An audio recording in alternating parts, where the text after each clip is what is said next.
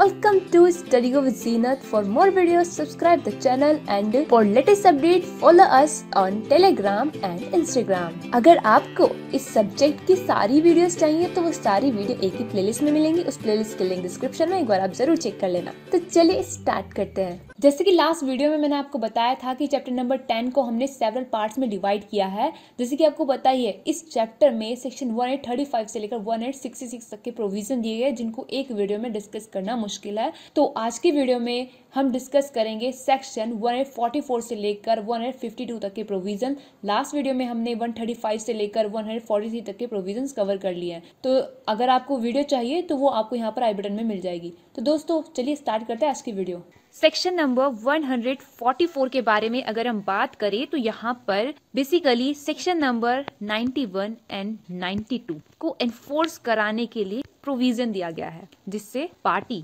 इन provision को क्या करा सके एनफोर्स करा सके। इसीलिए इस सेक्शन में कुछ रूल दिए गए हैं। कहा यह गया है कि अगर किसी विटनेस का क्या हो रहा है एग्जामिनेशन किया जा रहा है, ठीक है? लाइक क्रॉस एग्जामिनेशन हो सकता है एग्जामिनेशन इन चीफ हो सकता है। तो अगर विटनेस का एग्जामिनेशन किया जा रहा है तो उससे पूछा जा सकता है कि कोई कॉन्ट्रैक्ट ग्रांट या अदर डिस्पोजिशन ऑफ़ प्रॉपर्टी जिसके बारे में वो एविडेंस दे रहा है कि क्या वो डॉक्यूमेंट में कंटेन है। ये पूछा जा सकता है उससे, अगर वो कहता है कि yes it was contain in document या फिर वो किसी डॉक्यूमेंट के बारे में कोई स्टेटमेंट देता है, जिसका कोर्ट की राय में न्यायालय में प्रोड्यूस किया जाना ज़रूरी है। मतलब जो कि न्यायालय में प्रोड्यूस किया जाना चाहिए डॉक्यूमेंट तो तब इस कंडीशन में क्या हो सकता है? जो एडवर्स पार्टी हैं, वो ऑब्जेक्शन रेज कर सकती हैं ऐसे एविडेंस को लिए जाने के बारे में। वो ये कह सकती हैं कि जब तक वो डॉक्यूमेंट खुद ही न्यायालय में प्रोड्यूस नहीं किया जाता, तब तक विटनेस का उस डॉक्यूमेंट के बारे में वो जो एविडेंस दे रहा है, जो भी हमने डिस्कस किया, वो नहीं लिया जाना चाहिए। और या फिर जब तक जो पार्टी प्रोड्यूस की है विटनेस वो एंटाइटल नहीं हो जाती है उस डॉक्यूमेंट के बारे में सेकेंडरी एविडेंस देने के लिए। तो बेसिकली यहाँ पर सेक्शन 91 एंड 92 जो कि एक्सक्लूड करते हैं ओरल एविडेंस को from the documentary evidence in section को एनफोर्स कराने के लिए पार्टी को राइट दिया गया है। अब इस सेक्शन में एक्सप्लेनेशन दी गई है, जो कि जनरल रूल अभी हमने पढ़ा, उसका वो एक्सेप्शन तैयार करती है। उससे थोड़ा एग्जामेशन देती है। इस एक्सप्लेनेशन को समझने के लिए पहले हम इलिस्ट्रेशन पढ़ेंगे। कहा यह गया है कि अगर ये सवाल आता है कि क्या ए ने बी के ऊपर क्या किया है, हमला किया है वेदर ए असोल्टेड बी तो जो सी है, वो ये कहता है कि भाई, उसने ये सुना था कि जो ए है, वो डी से ये कह रहा था कि बी ने एक पत्र लिखा था, किसको?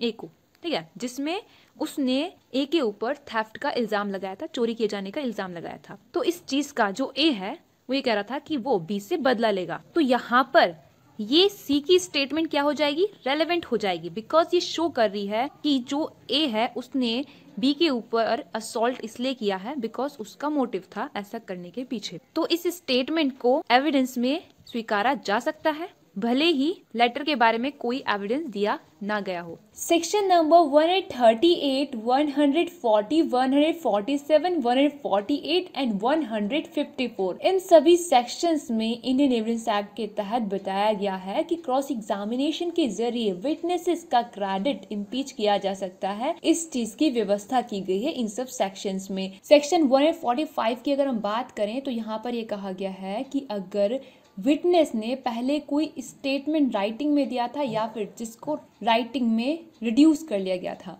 तो अगर कोई ऐसा स्टेटमेंट दिया था और अब विटनेस कोई स्टेटमेंट दे रहा है तो उस स्टेटमेंट को, उसके पुराने वाली स्टेटमेंट से क्या किया जा सकता है? कॉन्ट्रोडिक्ट किया जा सकता है। विटनेस को डिसक्रेडिट किया जा सकता है। क्रॉस एग्जामिनेशन के तहत। इतनी सी बात कह रखी है इस सेक्शन में। क्योंकि ऐसा अक्सर होता है कि अगर किसी ने कोई स्टेटमेंट दिया है राइटिंग में तो बाद में सेम प्रोसीडिंग में वो अपनी प्रीवियस स्टेटमेंट के कॉन्ट्राडिक्टरी स्टेटमेंट दे। तो इस तरीके से विटनेस को क्या किया जा सकता है? कॉन्ट्रेडिक्ट किया जा सकता है। उसको डिसक्रेडिट किया जा सकता है। इस सेक्शन के तहत उस पक्षकार को जो कि क्रॉस एग्जामिन कर रहा है विटनेस को, ये अपॉर्चुनिटी मिली है कि वो क्या कर सकता है? कि विटनेस ने जो पहले स्टेटमेंट दिया हुआ होगा, कभी भी प्रीवियस स्टेटमेंट लाइक एफआईआर में स्टेटमेंट दिया है उसने, या फिर सेक्शन 161 के तहत किसी पर्सन का पुलिस ऑफिसर ने जो कि केस इन्वेस्टिगेट कर रहा था, कोई स्टेटमेंट वगैरह लिया है तो इस तरह से किसी भी तरीके से कोई प्रीवियस स्टेटमेंट दे रखा है, अगर किसी विटनेस ने कोई प्रीवियस स्टेटमेंट दे रखा है तो उस प्रीवियस स्टेटमेंट के साथ जो वो अब स्टेटमेंट दे रहा है, उसको मिलाकर कि भाई ये दोनों एक दूसरे के बिल्कुल विपरीत जा रहे हैं, एक दूसरे के बिल्कुल कॉन्ट्राडिक्टरी हैं। क्या किया जा सकता है? विटनेस को डिस्क्रेडिट किया जा सकता है। विटनेस को कॉन्ट्राडिक्ट किया जा सकता है। यानी कि वो पक्षकार जो क्रॉस एग्जामिन कर रहे हैं विटनेस को, वो क्या कर सकते हैं? उसके प्रीवियस स्टेटमेंट के साथ प्रेजेंट स्टेटमेंट को मिलाकर कि भाई ये दोनों एक दूसरे से मिल ही नहीं रहे बिल्कुल अलग हैं। पहले इसने कुछ और कहा था, अब ये कुछ और कह रहा है। क्या कर सकता है? विटनेस को कॉन्ट्राडिक्ट कर सकता है विटनेस को डिस्क्रेडिट कर सकते हैं। ये कह सकते हैं कि भाई ये विटनेस सच नहीं बोल रहा है। उसकी वेरासिटी के ऊपर सवाल उठा सकते हैं। एक केस था state of Kerala versus Babu and others इस केस में बात हेल्ड हुई थी कि सेक्शन नंबर 161 ऑफ़ सीआरपीसी के तहत जो पुलिस ऑफिसर है केस को इन्वेस्टिगेट करने वाला, अगर वो किसी पर्सन को एग्जामिन करता है और उसका स्टेटमेंट राइटिंग में रिड्यूस किया जाता है उस पर्सन का तो उस पर्सन का जो राइटिंग में किया गया स्टेटमेंट है, उस स्टेटमेंट से अगर वो बाद में क्रॉस एग्जामिन के तहत कोई स्टेटमेंट देता है, क्या किया जा सकता है? उस पर्सन को कॉन्ट्रडिक्ट किया जा सकता है। Section 145 of Indian evidence act के पर्पस के लिए और उस मैनर में जैसा कि सेक्शन 162 ऑफ़ सीआरपीसी में प्रोवाइडेड है। वहीं दूसरी तरफ़ एफआईआर जो होती है कॉग्निजेबल ऑफेंस की इंफॉर्मेशन जो कि 154 ऑफ़ सीआरपीसी के तहत रिकॉर्ड की जाती है तो वहाँ पर अगर कोई स्टेटमेंट की गई है एफआईआर में तो उनको भी यूज़ किया जा सकता है, किसी विटनेस को डिस्क्रेडिट या फिर कॉन्ट्रडिक्ट करने के लिए। बस ये चीज़ ध्यान रखनी है आपने कि जिस प्रीवियस स्टेटमेंट को यूज़ किया गया है विटनेस को डिस्क्रेडिट करने के लिए कॉन्ट्रडिक्ट करने के लिए, वो सब्सटेंटिव पीस ऑफ़ एविडेंस नहीं बन जाती है। ठीक है? ये चीज़ ध्यान रखनी है। ये सिर्फ़ और सिर्फ़ जो विटनेस है, उसकी वेरासिटी में डाउट क्रिएट करने के लिए विटनेस को कॉन्ट्रडिक्ट करने के लिए विटनेस को डिस्क्रेडिट करने के लिए यूज़ की जाती हैं। एक केस था state of Haryana versus Harpal Singh 1978 का। इस केस में ये बात हेल्ड हुई थी कि अगर कोई अनसाइंड स्टेटमेंट है तो उसको in the form of previous statement witness को कॉन्ट्रेडिक्ट करने के लिए यूज़ नहीं किया जा सकता है। एक केस था जी नारायणा चेट्टी वर्सेस विश्वानंगासी, जो कि 2003 का केस है। इस केस में बात हेल्ड हुई थी कि अगर किसी पर्सन का एग्जामिनेशन इन चीफ नहीं किया गया है तो उस पर्सन का उसकी जो प्रीवियस स्टेटमेंट दी है, उसने राइटिंग में, उसके बारे में क्रॉस एग्जामिनेशन नहीं किया जाएगा। इस चीज़ को अलाउ नहीं किया जाएगा। और यहाँ पर ये चीज़ ध्यान रखनी है कि जो पहले स्टेटमेंट दी है, जो प्रीवियस स्टेटमेंट है और जो प्रेजेंट स्टेटमेंट है, इन दोनों को आपस में मिलाकर ये शो किया जाता है कि ये दोनों एक दूसरे के कॉन्ट्रडिक्टरी हैं। तो यहाँ पर दोनों स्टेटमेंट एक ही विटनेस की होनी चाहिए सेम विटनेस की होनी चाहिए। ये चीज़ आपने ध्यान रखनी है। ये बात हेल्ड हुई थी मोहनलाल वर्सेस महाराष्ट्र 1982 के केस में। यानी कि ऐसा कह सकते हैं कि जिस विटनेस ने प्रीवियस स्टेटमेंट दिया है, उस विटनेस का है प्रीवियस स्टेटमेंट उसके प्रेजेंट स्टेटमेंट के साथ यूज़ करके उस विटनेस को क्या किया जा सकता है? कॉन्ट्रडिक्ट किया जा सकता है। किसी दूसरे विटनेस का स्टेटमेंट उसको कॉन्ट्रडिक्ट करने के लिए यूज़ नहीं किया जा सकता है। ये चीज़ आपने ध्यान रखनी है। Section number 146 of Indian evidence act यहाँ पर बताया गया है कि क्रॉस एग्जामिनेशन में क्या क्वेश्चन लॉफुल होंगे। यहाँ पे कहा गया है कि अगर किसी विटनेस का क्रॉस एग्जामिनेशन किया जा रहा है तो उससे उन क्वेश्चन के साथ साथ जो कि सेक्शन नंबर 138 में डिस्कस हम कर चुके हैं, यहाँ पर हेयर एंड बिफोर रेफर्ड का मतलब यही है कि सेक्शन नंबर 138 में जो क्वेश्चन है, उन क्वेश्चन के साथ साथ क्या क्वेश्चन पूछे जा सकते हैं? ऐसे क्वेश्चन उससे पूछे जा सकते हैं, जिससे उसकी वेरासिटी को चेक किया जा सके, उसकी विश्वसनीयता का पता लगाया जा सके कि भाई वो इंसान ट्रस्टवर्थी है या नहीं। और ऐसे क्वेश्चन भी उससे पूछे जा सकते हैं कि भाई वो कौन है? उसकी लाइफ में क्या पोजीशन है? और उसके क्रेडिट को शेक करने के लिए, उसके करेक्टर को इंजर करने वाले भी क्वेश्चन उससे पूछे जा सकते हैं, जिससे वो क्या हो सकता है डायरेक्टली या फिर इनडायरेक्टली फंस सकता है या फिर उसके ऊपर कोई डायरेक्टली या फिर इनडायरेक्टली कोई पेनल्टी के लिए वो एक्सपोज हो सकता है या फिर वो उसकी प्रॉपर्टी वगैरह फॉरफिट की जा सकती है, जब्त की जा सकती है। तो ऐसे क्वेश्चन उसके करैक्टर को इंजर करते हुए उसके क्रेडिट को शेक करने के लिए पूछे जा सकते हैं। इसके बाद इस सेक्शन में एक प्रोवाइजो दिया गया है। इस प्रोवाइजो में काफ़ी चीज़ें सब्सटीट्यूट की गई थी। 2013 में जब अमेंडमेंट किया गया था क्रिमिनल लॉ अमेंडमेंट एक्ट आया था, निर्भया कांड होने के बाद justice J S Verma committee की रिकमेंडेशन पर जब अमेंडमेंट किया गया था तो इस प्रोवाइजो में कुछ चीज़ें सब्सटीट्यूट की गई थी। वहीं 2018 में भी अमेंडमेंट हुआ था तो जिसके ज़रिए कुछ सेक्शंस यहाँ पे और सब्सटीट्यूट किए गए थे। तो ये सारे रेप से रिलेटेड सेक्शंस हैं। इस प्रोवाइजो को आप लिंक करोगे section number 53 A of Indian evidence act के साथ, जो कि हम अपने प्रीवियस वीडियोस में डिस्कस कर चुके हैं। कहा यह गया है इस प्रोवाइजो में कि अगर कोई प्रोसिक्यूशन किसी ऐसे ऑफेंस के लिए चल रहा है, जो कि आईपीसी के ये जो सेक्शंस हैं, इनमें डिफाइंड है, या फिर इनमें से किसी ऑफेंस के अटैम्प्ट टू कमिट के लिए। कोई प्रोसिक्यूशन अगर चल रहा है तो अगर ये सवाल आता है कि भाई, ऐसे ऑफेंस में जो विक्टिम थी, उसने कंसेंट दी थी या नहीं तो यहाँ पर ये परमिशन नहीं है कि ऐसी कंसेंट या फिर क्वालिटी ऑफ़ कंसेंट को प्रूव करने के लिए जो विक्टिम है, उसके जनरल इमोरल करेक्टर के बारे में एविडेंस वगैरह दिया जाए, या फिर उसका किसी अदर पर्सन के साथ प्रीवियस सेक्सुअल एक्सपीरियंस कैसा था, इस तरह के क्वेश्चंस पूछे जाएँ। ये परमिट नहीं है। इस प्रोवाइजो को आप एक और सेक्शन के साथ लिंक करोगे। Section number one eight fourteen A जो कि हम प्रीवियसली डिस्कस कर चुके हैं, उसके साथ इस प्रोवाइजो को लिंक ज़रूर कर लेना। सेक्शन नंबर 147 की अगर हम बात करें तो यहाँ पर ये बताया गया है कि विटनेस को किन क्वेश्चन का आंसर देने के लिए कंपेल किया जा सकता है।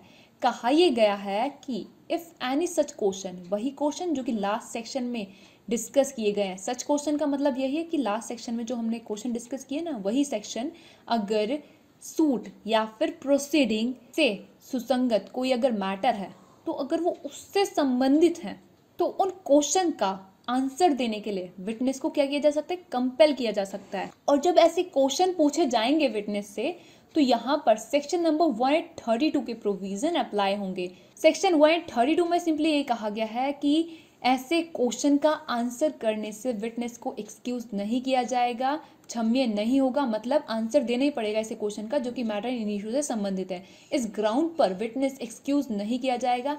क्वेश्चन का आंसर देने से कि भाई अगर उसने उन क्वेश्चन का आंसर दे दिया तो वो फंस जाएगा या फिर किसी पेनल्टी के लिए या फिर फॉर फ्यूचर के लिए वो एक्सपोज हो जाएगा। विटनेस को उन क्वेश्चन का आंसर देना ही होगा। अगर उसको लगता है कि वो ऐसा क्वेश्चन का आंसर देने से फंस सकता है तो इस ग्राउंड पर उसको एक्सक्यूज नहीं किया जाएगा आंसर देने से।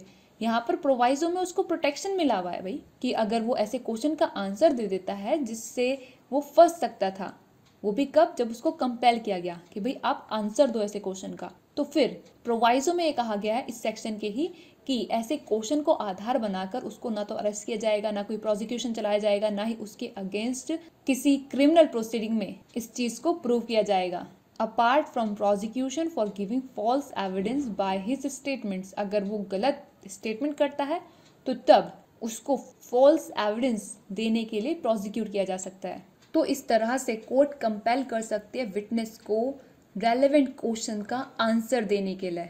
और किसी क्वेश्चन का विटनेस ने आंसर करना चाहिए या आंसर नहीं करना चाहिए, ये चीज़ कोर्ट डिसाइड करती है।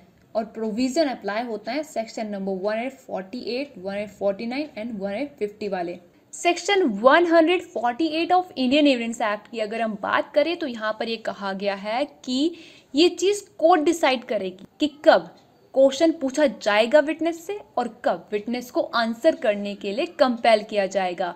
यहाँ पर यह कहा गया है कि अगर कोई ऐसा क्वेश्चन है किसी मैटर से संबंधित जो कि सूट या प्रोसीडिंग के लिए रेलेवेंट नहीं है बट जहाँ तक कि वो विटनेस के क्रेडिट को by injuring his character affect करता है, वहाँ तक वो क्वेश्चन को लेकर कोर्ट ये डिसाइड करेगी कि क्या विटनेस को आंसर करने के लिए कंपेल किया जाएगा या कंपेल नहीं किया जाएगा? अगर कोर्ट को ऐसा करना सही लगता है तो फिर कोर्ट क्या कर सकती है? विटनेस को ये चेतावनी दे सकती है, ये वार्निंग दे सकती है कि भाई आप ऐसे क्वेश्चन का आंसर करने के लिए बाध्यकारी नहीं है। यानी कि कहने का मतलब यही है कि अगर जो विटनेस का करेक्टर है, वो सिर्फ़ इसलिए रेलेवेंट है कि जो विटनेस है, उसके क्रेडिट को शेक किया जा सके। तो फिर, ये कोर्ट के ऊपर पूरी डिस्क्रिशनरी पावर है। अगर वो चाहे तो वो अलाउ कर सकती है। ऐसे क्वेश्चन पूछे जाना जो कि विटनेस के करेक्टर को इंजर करते हैं। अगर कोर्ट नहीं चाहती अलाउ करना तो कोर्ट डिस अलाउ कर सकती है ऐसे क्वेश्चन के पूछे जाने को।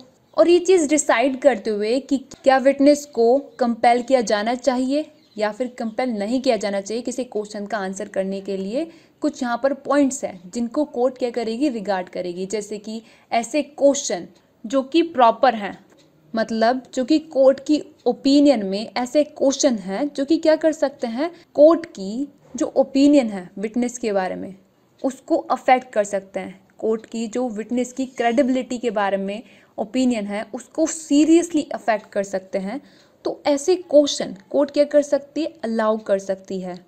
लाइक like जैसे कि विटनेस का क्रॉस एग्जामिनेशन चल रहा है तो उस टाइम पर उससे ऐसा क्वेश्चन पूछा जा सकता है कि उसका क्या मोड ऑफ़ लाइफ है, क्या एसोसिएशन है उसका, भले ही ये इरेलीवेंट है बट इन क्वेश्चन से क्या हो सकता है, जो टेस्टमनी है, उसको डिसक्रेडिट किया जा सकता है, और जो विटनेस का करैक्टर है, जो उसकी वेरासिटी है, उसको डिग्रेड किया जा सकता है। अब अगर हम बात करें इन प्रॉपर क्वेश्चन की तो भाई ऐसे क्वेश्चन जिनका मैटर से बहुत ही दूर का नाता होता है। लाइक like, जो कि कोर्ट की ओपिनियन विटनेस की क्रेडिबिलिटी के बारे में सीरियसली अफेक्ट नहीं करते हैं ऐसे क्वेश्चन फॉर एग्ज़ाम्पल एक विटनेस आता है न्यायालय में और उससे पूछा जाता है कि भाई क्या आपको कभी सजा हुई है? कन्विक्शन हुआ है न्यायालय के द्वारा? तो वो कहता है कि नहीं मुझे कभी कोई कन्विक्शन ही नहीं हुआ है। और जो अपोजिट पार्टी है, वो एक एविडेंस पेश कर देती है कि भाई इसे तीस, चालीस साल पहले क्या हो रखा था? सजा हो रखी थी।